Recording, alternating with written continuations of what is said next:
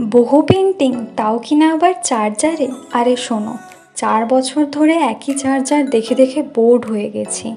YouTube, ইনস্টায় খুঁজে খুঁজেও মনের মতো কোনো আর্ট পেলাম না। শেষমেশ রঙের ডাব্বা থেকে ইচ্ছে মতো ফেব্রিক নিয়ে বসলাম বহু পেন্ট করতে। লাল, নীল, হলুদ, সবুজ কালার করে শেষমেশ ব্ল্যাক পাতাগুলো করে ফেললাম। দেখতে খানিকটা এইরকম লাগছিল। খুব একটা কিন্তু খারাপ হয়নি। আগের থেকে তো অ্যাটলিস্ট বেটার